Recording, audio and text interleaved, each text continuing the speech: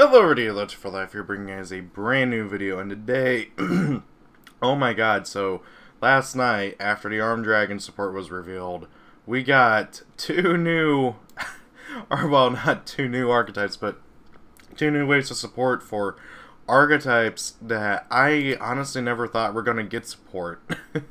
Wind Witches and Fabled. This is crazy. I I honestly never thought that either of these would get support anymore at this point because it kind of felt like forgotten archetypes in terms of, you know, Konami and everything. Especially Wind Witches since they were less known for being an archetype and more well known for being an engine. Um, and I already can tell that the meta people, uh, you know, the people who only focus on the meta, they're going to be, okay, how can this support the engine, not the archetype? And uh, in terms of the archetype, this new support is pretty darn good for the archetype. Uh, will it revitalize the Wind Witch engine and make the engine popular again? I don't think so. I'll be 100% honest. Uh, there's just better things you can do. Uh, but, however, let's go ahead and talk about it. So, first and foremost, we got Wind Witch Blizzard Bell. She's a level 5 uh, Wind Spellcaster Tuner. Yeah, level 5 Tuner. You don't see that often. 1800 attack, 1800 defense. You can only use the second effect to discard's name once per turn. If you control no monsters or all monsters you control are Wind Witch monsters, you can normal summon this card without tributing. During your opponent's main phase, if you control a Wind Witch monster other than Wind Witch Blizzard Bell, quick effect, you can send this card from your hand or field to the graveyard, inflict 500 damage to your opponent. Now, this kind of ties in with what Wind Witches are all about. And if you've never played the archetype, you might not know, but Wind Witches are all about burn damage. If you look at the archetype, it's just crazy with how much burn damage they are all about. You know, Ice Bell does damage whenever she is summoned. Winter Bell uh, does uh, effect damage as well by targeting a Wind Witch and then doing damage equal to its level.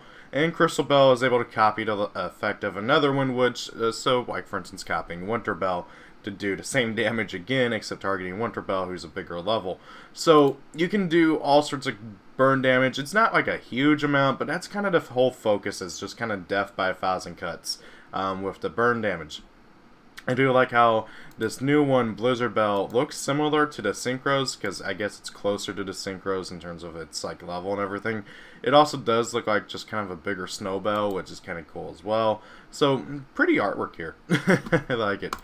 Moving on, we got Wind Witch Freeze Bell, who looks like the other Wind Witches, except uh, different hair color. That's kind of the thing with the Wind Witches is they all look alike, except different hair colors and stuff.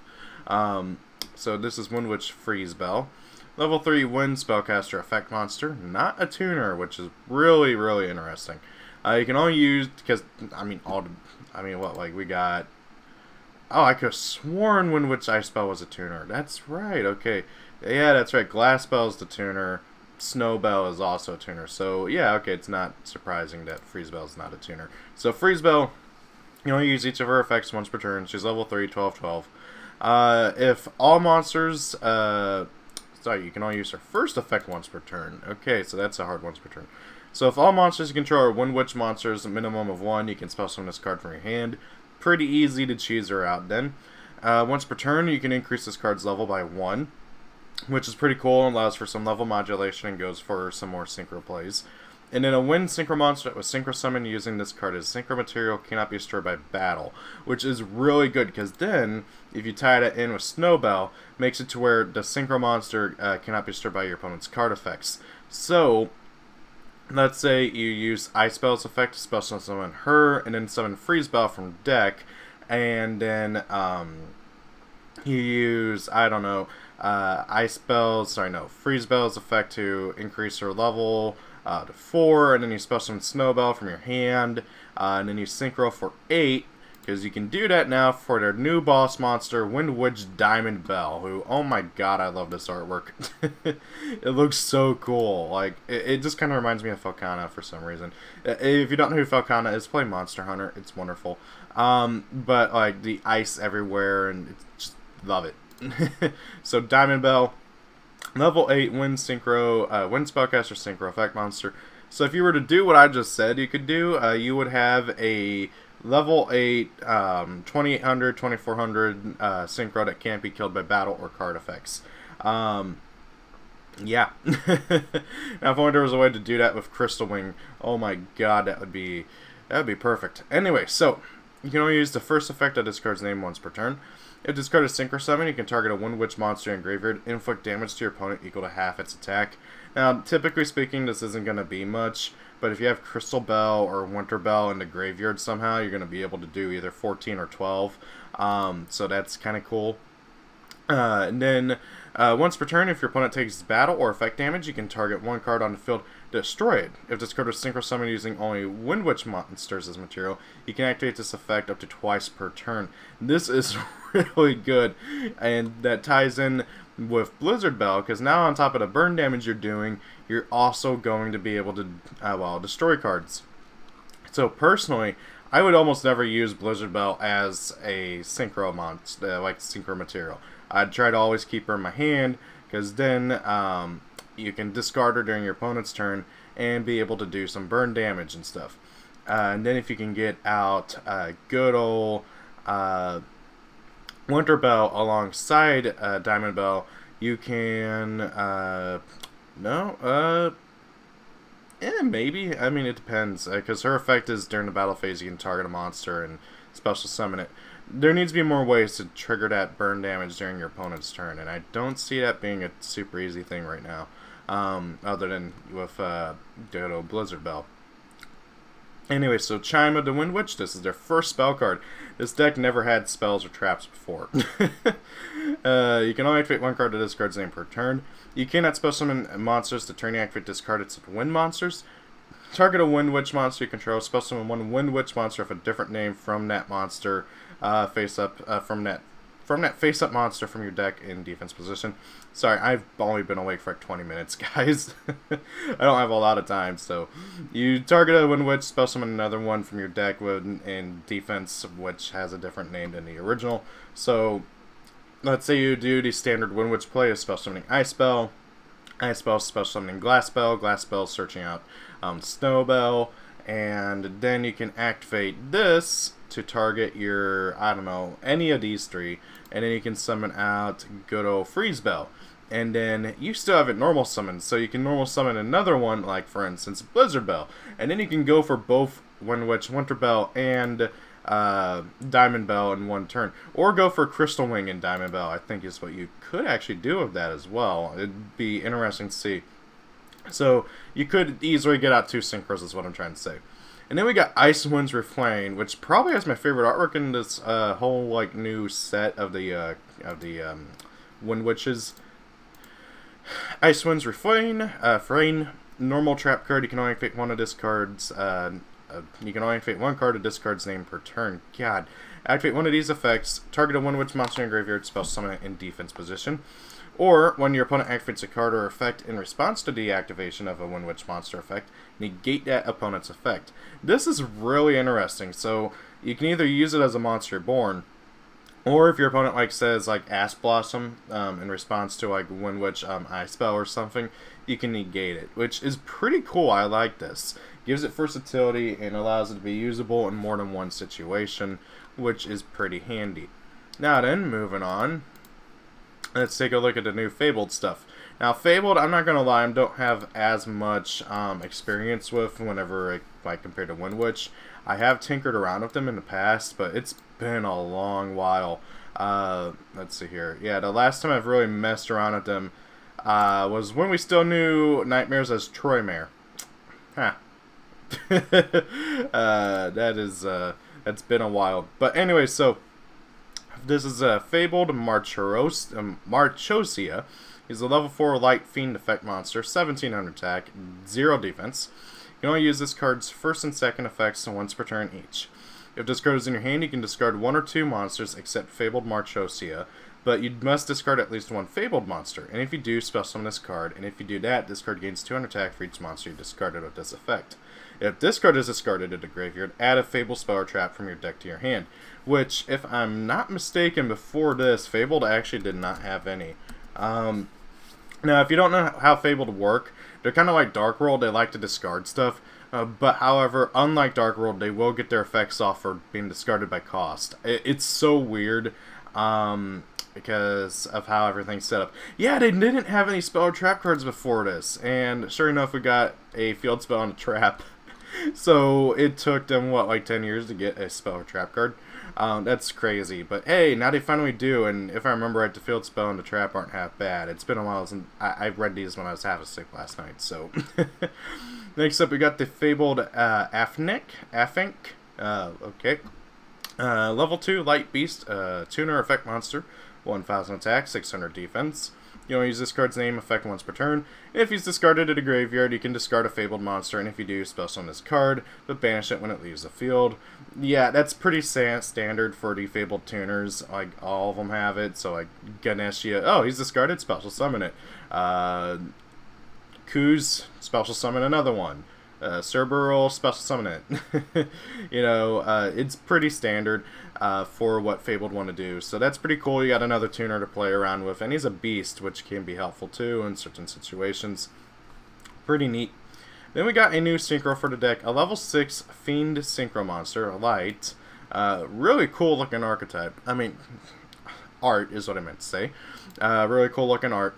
Synchro materials, one Fable tuner, plus one or more non-tuner monsters. You can only use this card's names first and second effects once per turn each. If this card is special summoned, you can activate this effect.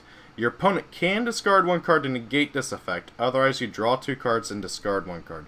So, I'm going to say straight up, there should be no your opponent can discard one card to negate this effect because we have a synchro that does the exact same thing except it just lets you draw two uh, which is Ragin. And actually, Ragin only triggers if you have one or less cards in your hand, and he lets you draw until you have two in your hand.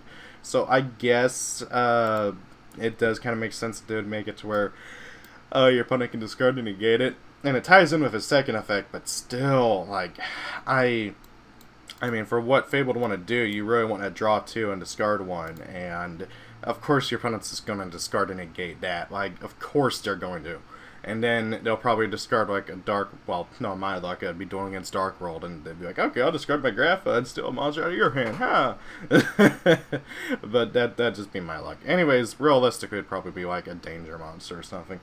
Anyways, so Two, if a monster or monsters is sent from your opponent's hand into the graveyard, you can target one of those monsters, spell summon it to your field, but negate its effects.